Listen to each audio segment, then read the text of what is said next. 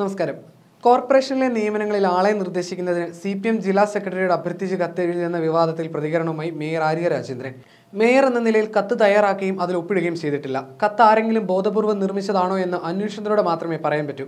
അത്തരമൊരു കത്ത് കൊടുക്കുന്ന ശീലം സി പി എമ്മിനില്ല അങ്ങനെ ഇടപെടൽ ഇതുവരെ നടത്തിയിട്ടില്ല. ഇനി നടത്താൻ ഉദ്ദേശിക്കുന്നതുമില്ലെന്നും ആര്യ രാജേന്ദ്രൻ പറഞ്ഞു. കത്തിൽ അന്വേഷണം വേണമെന്നാവശ്യപ്പെട്ട് മുഖ്യമന്ത്രിക്ക് പരാതി നൽകിയ ശേഷം മാധ്യമങ്ങളെ കാണുകയായിരുന്നു മേയർ. മേയറുടെ ഓഫീസിൽ നിന്ന് വ്യക്തമാക്കിയതുപോലെ അത്തരത്തിലുള്ള ഒരു കത്ത് നേരിട്ടോ അല്ലാതെയോ ഒപ്പിടുകയോ അത് ബന്ധപ്പെട്ട ഏതെങ്കിലും സ്ഥലത്തേക്ക് കൊടുക്കുകയോ ചെയ്തിട്ടില്ല. അതാണ് സത്യാവസ്ഥ എന്നതുകൊണ്ടാണ് മുഖ്യമന്ത്രിക്ക് നേരിട്ട് പരാതി നൽകിയത്. തന്റേതല്ലാത്ത കത്തിന്റെ ഉറവിടം ഏതാണെന്ന് പരിശോധിക്കണം.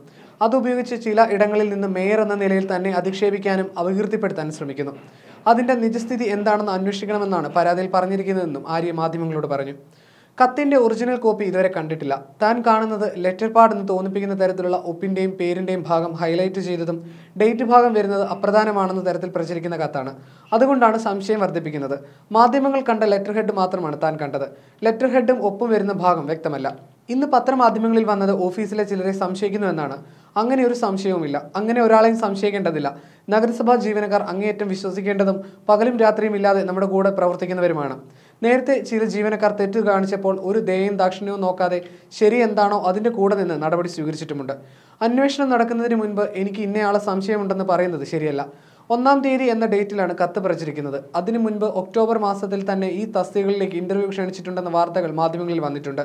വിവാദത്തിന്റെ അടിസ്ഥാനത്തിൽ ജനങ്ങളെ കാര്യങ്ങൾ സുതാര്യമായി ബോധ്യപ്പെടുത്തുക എന്ന ഉത്തരവാദിത്തം മാത്രമേ തനിക്കുള്ളൂവെന്നും അതുകൊണ്ടാണ് എംപ്ലോയ്മെന്റ് എക്സ്ചേഞ്ച് വഴി നിയമനം നടത്താൻ സർക്കാരുമായി ആലോചിച്ച് തീരുമാനമെടുത്തതെന്നും മേയർ വ്യക്തമാക്കി. തന്നെ പിന്തുടർന്ന മാധ്യമങ്ങളെ മേയർ വിമർശിച്ചു.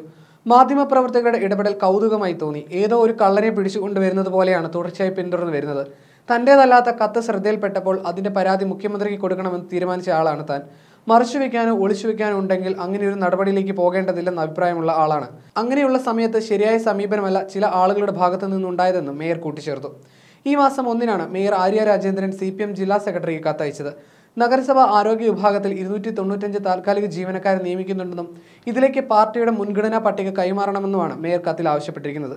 സഖാവെ എന്ന് അഭിസംബോധന ചെയ്തു തുടങ്ങുന്ന കത്തിൽ ഒഴിവുകളുടെ എണ്ണവും യോഗ്യതയും ശമ്പളവും എല്ലാം വിവരിക്കുന്നുണ്ട്. ഇരുപത്തൊന്ന് വയസ്സുകാരിയായ ആര്യ രാജേന്ദ്രനെ മേയറാക്കിയ സി പി എം അന്നത് വലിയ നേട്ടമായി ആഘോഷിച്ചിരുന്നെങ്കിലും തുടർച്ചയായി സൃഷ്ടിക്കുന്ന വിവാദങ്ങളിലൂടെ തിരുവനന്തപുരം മേയർ ഇന്ന് സി പി എമ്മിന് നിരന്തരം തലവേദന സൃഷ്ടിക്കുകയാണെന്നാണ് റിപ്പോർട്ടുകൾ.